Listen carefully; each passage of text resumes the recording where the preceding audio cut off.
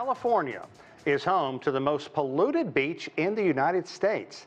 This according to a recent environmental report.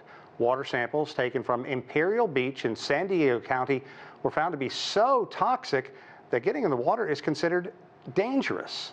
The beach has been closed to the public for the past two years while authorities try to address the sewage flow that is fueling this problem. Let's take a deeper dive into the ongoing environmental issues affecting California beaches. And joining us to talk about this, environmental justice advocate uh, Kari Fulton. Uh, Kari, thanks so much. Um, man, that, that one caught me off guard when I was doing some research about polluted beaches and, and, and cleaning up beaches ahead of time. I mean, you can find them in every corner of the world, but what's going on down there is, is criminal in, in many ways. So talk about the impact that this has, this kind of pollution has on local beach towns and especially down there. Uh, one thing I will say is that we have to focus in on our infrastructure. And we're at a place right now where people are starting to pay attention, but we need to pay attention and, and also continue to grow on that because this is a partnership between Mexico and the United States, and both countries have to do their part. But the people who are in the middle are the residents that have to live in these areas next to these beach towns that have raised their families there and also may not have the capacity to move. How are they being impacted? And what health studies are being done to really make sure that they are not having residual um, public health issues from all of these toxins that need to be cleaned up. Yeah, we, uh, you know, it's it's a beach town where people can't use the beach, and a lot of beach right. towns, it's it's kind of a pseudonym for tourism. So clearly, uh, you, one would think that the town is losing a ton of money aside from all the health effects.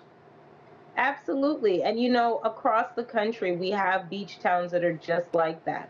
Um, you can look at the Gulf Coast uh, on the southern, on the eastern, southeastern side, when you look at the Mexican border over there, and you have communities who are impacted the same because of industry.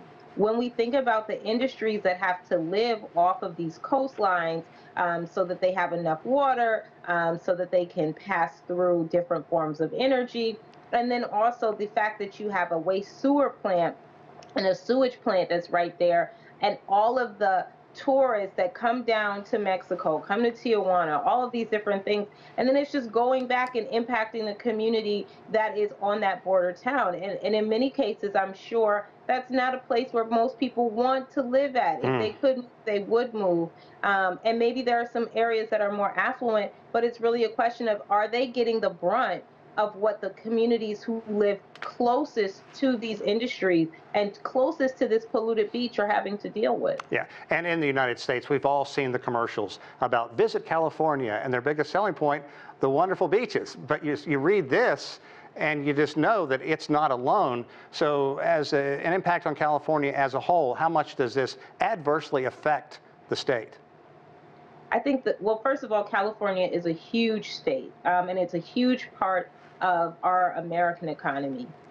So I believe that for that area, that is definitely impacting. And also, I think it's also a statement because California is also one of the more progressive states in the United States. So if they're dealing with this level of infrastructure issues, what does that look like in other states that don't have um, you know, elected officials that care about these issues. So really, it is testament to how um, corroded our infrastructure truly is and why we need to make true investments across the board, even in progressive states like California. Yeah, and I think you're exactly right when you talk about the elected officials as well, because assistance from Mexico, I mean, Tijuana is well known for the cartels uh, having uh, their uh, tentacles in there as well. So that government is already stretched to the to the brink trying to take care of crime.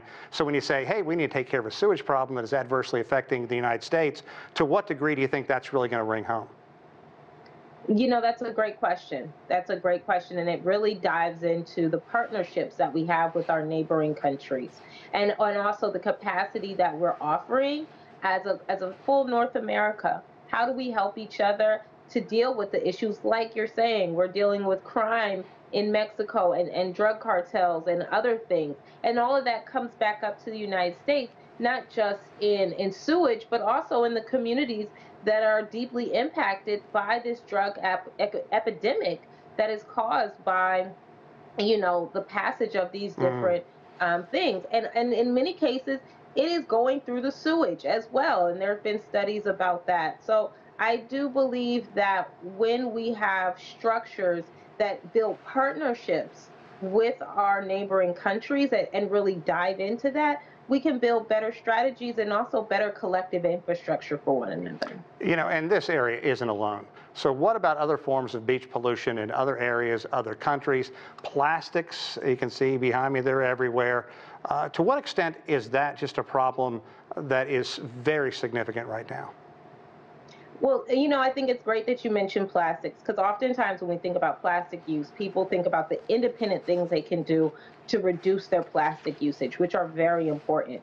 But the other thing that we need to talk about are petrochemical facilities and also energy facilities like liquefied natural gas that reside on these coastal regions, um, and maybe not so much on the West Coast, but definitely um, on the East Coast and in some cases on the on the West Coast as well. And those are in beachfront areas. You also have offshore um, energy projects that live in those areas, and you also have the U.S. military, Mm. which in its own self is a polluting industry that Yep. doesn't have to follow the same guidelines as a private industry. Indeed. So all of those things play in, and and we oftentimes don't talk about the fact that there are the things that we can do as individuals, like using less plastic, but there's also the things that we can do to make sure that there's better um, regulations on the industries that reside right off of our coastline.